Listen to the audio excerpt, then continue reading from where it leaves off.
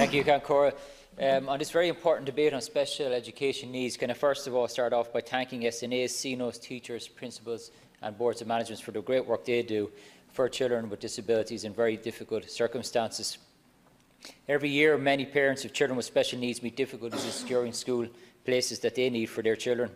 In my own county of Wexford, there are lengthy waiting lists for special needs education, and this compounds an already very stressful situation for parents. Our Lady of Fatima National School in Wexford provides an outstanding service, but is constantly oversubscribed.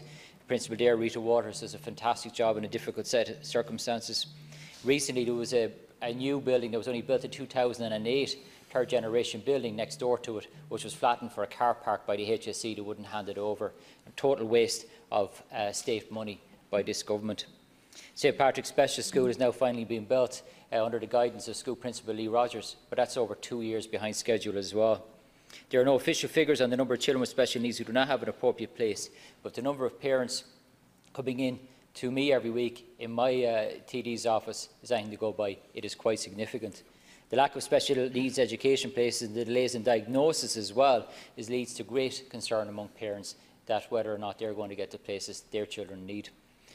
Can I acknowledge um, the work of parents in relation to the children with disabilities? My own sister is spina bifida hydrocephalus, my own goddaughter is Down syndrome, so I'm very aware of the particular circumstances and the challenges faced. No child should experience a delay in the start of their school year because of administrative issues. There is a fundamental failure on the part of the Government and the Minister for Education to provide the necessary places for children with special needs. And I asked the Minister, why are children with special needs not being prioritised? Why are they being left behind? And why are parents having to fight constantly to get basic services? Thank you.